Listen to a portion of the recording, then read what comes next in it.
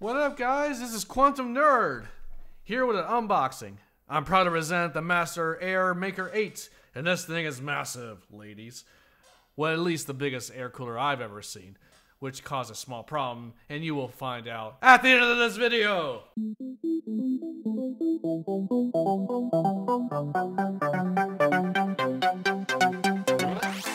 Master Air Maker 8 by Cooler Master. When I bought this, I had no idea what I was getting myself into.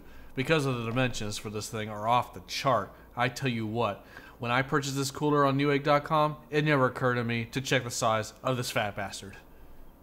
As you can see, there is a big list of information to go with its enormous size, but I will only go over the basic specs that are essential to this product. The reason why I needed to buy a new cooler to begin with was because I just recently bought a HTC Vive, and for those of you who don't know what a HTC Vive is, and I can't imagine why you wouldn't, because it's pretty amazing but in case I will leave a link below to tell you more about it. The Vive device requires a more beefier system in a nutshell, which is why I bought an EVGA 970 graphic card. And also, I made a video prior about this card in case you want to learn more about it. And I also bought a new FX 8350 processor, and not knowing how hot it would get during intensive gaming, my computer would crash after playing 15 minutes at 80 Celsius, which is pretty darn hot.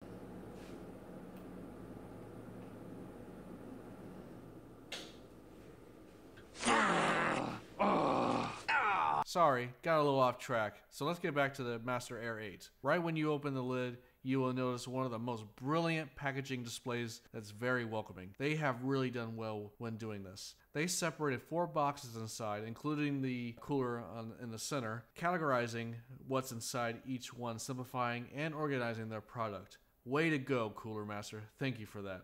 And you're greeted with the 12 centimeter fan brackets, top plate, Manual and accessories. Let's take a look at the manual accessories.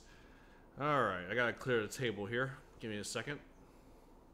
Sorry, this is takes some room when you're pulling these um, items out. It comes with a lot of stuff. When opening the Master Air Maker 8 accessory manual, we notice all our thumb screws are dislodged from the box, which tends to happen during shipping, unfortunately.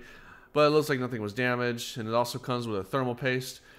And also we have here the Master Air Maker 8 manual we will definitely need this to assist us in our build for this cooler.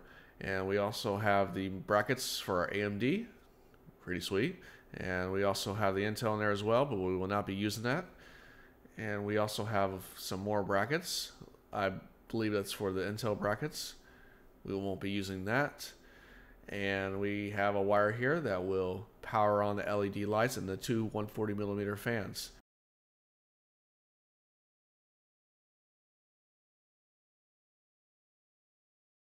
Alright, so let's take a look at the brackets. Now, there's not much to say about these uh, brackets.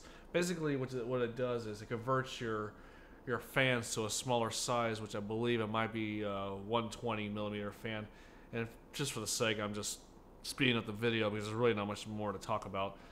And we're going to go ahead and move on to the top plate.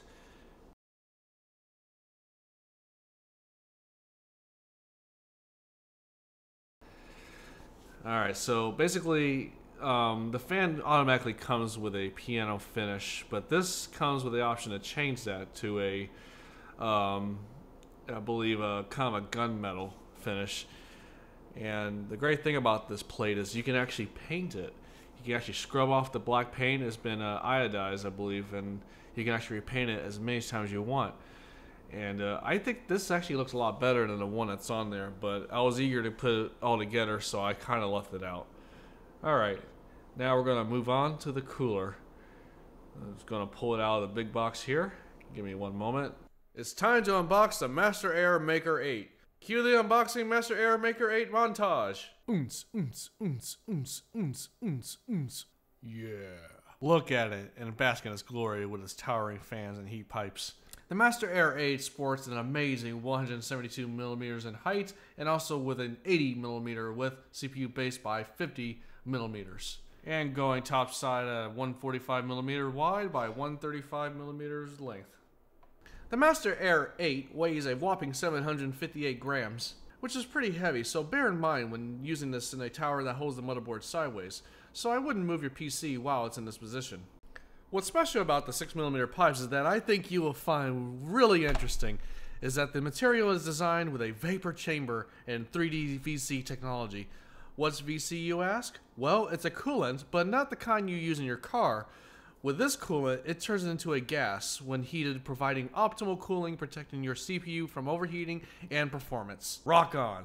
Alright, we're ready to remove my old cooler, which is just a run-of-mill cooler Ultra brand with a 140mm fan, and below that is my new EVGA 970, which I will do a benchmark on very soon. When replacing the cooler, it is a good idea to remove the old thermal paste and lay down a fresh coat. I personally prefer Arctic Silver 5 thermal paste rather than using the stock brand paste that came with the cooler. I just seem to have a better result using Arctic Silver in the past, so I'm going to stick with, to what I know. You know the saying, if it isn't broken, why fix it? You can try to clean the paste off the processor while still plugged into the motherboard, but it's recommended to remove it from the motherboard so you won't risk bumping into any components. First, all you need to do is lift up the small retention bar, then carefully pull up on the processor slowly. You wouldn't want to bend any of those delicate pins. Thermal paste is very adhesive, like glue especially when it's been placed over a few years. Just grab a paper towel and wet it and scrub thoroughly. And be careful not to touch the paste because it is hard to wash off. Once you're finished cleaning the paste, place the processor back into the chamber and make sure that the gold triangle in the corner of the chip lines up with the other triangle on the chamber. Not doing so may cause the pins on the chip not fitting right and may damage them. Then pull down the retention bar to fasten the chip in place.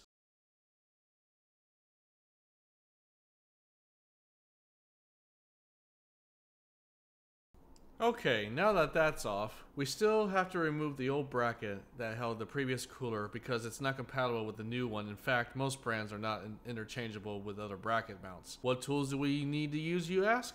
A Phillips screwdriver, of course.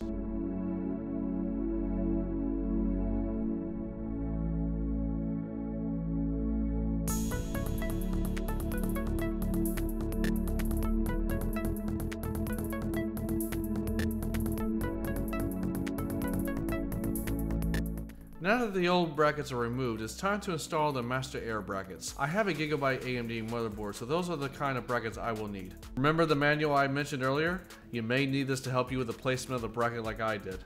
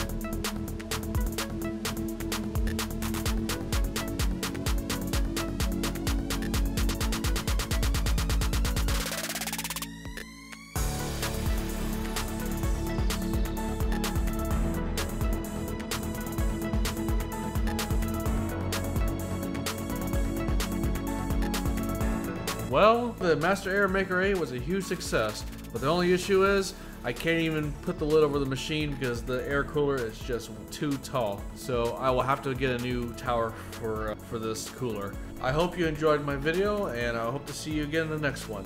Take care.